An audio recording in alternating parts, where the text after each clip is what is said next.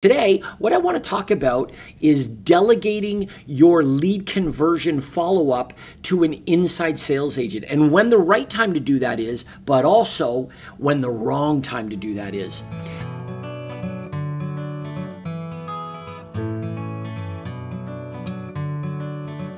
Hi, folks.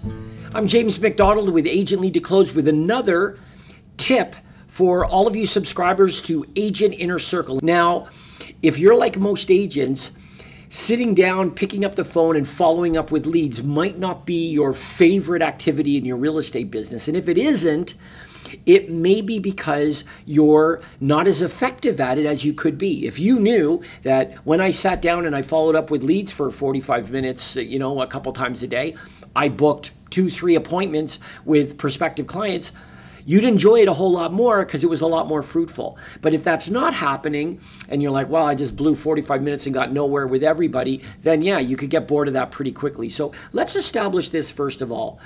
If the reason we want to delegate our lead conversion is because we're ineffective at it, then it's very likely the person that we hire to take over is going to be equally as ineffective. You're not exactly going to be in a position to show somebody how to be good at something that you are not. So that would be a mistake.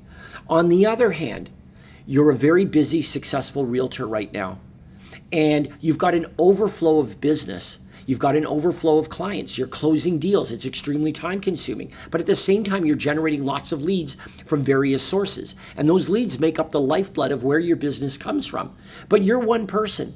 So you can only do so much. And you're starting to realize that you're not effectively following up with all the leads and converting them as effectively as you could.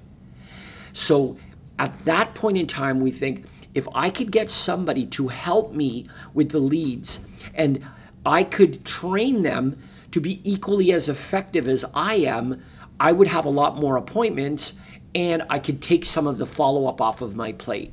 That's when it's the appropriate time to start growing your ISA team.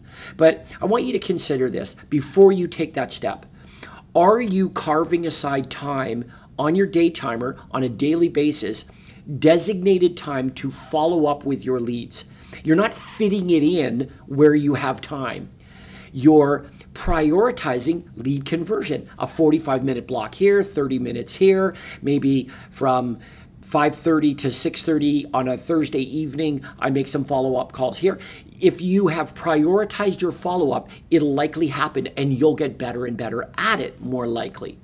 But if that's not happening and you're just kind of fitting it in sporadically, well, the first thing you need to fix is priority. And the second thing to consider is this. If you delegate away the lead conversion, which is where your clients actually come from, and the person you delegate it to isn't as effective as you or is ineffective at all, then what you're going to discover, as many agents have discovered that I've worked with, is their business actually decreases as a result. It doesn't increase as you're fantasizing about, it actually decreases. So it's very important that you recognize when you get really, really busy, some of the things that you're really busy with could be streamlined and could be delegated as opposed to the lead conversion, the lifeblood of where your business comes from. Maybe that shouldn't be the first thing that you consider delegating. If you're running around, you know, making feature sheets and and putting up, uh, you know, videos and you're doing things that are administrative that don't require a real estate license, that maybe pay 12, 15 bucks an hour type thing, maybe those are the activities that could be delegated away to give you more time to convert the leads that you're generating. And then when you get maxed out, that's when it might be time to look at an inside sales agent to help you with this process.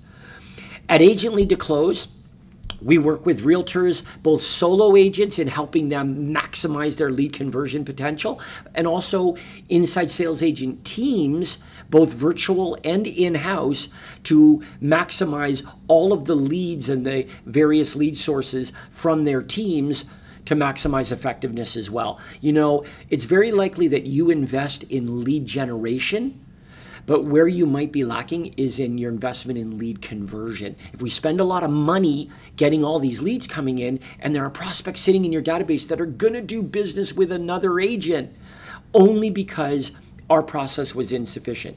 Visit www.agentleadtoclose.com and we can help you in that department, whether it's for a very short period of time, inexpensive, or whether it's training your team over a longer period of time.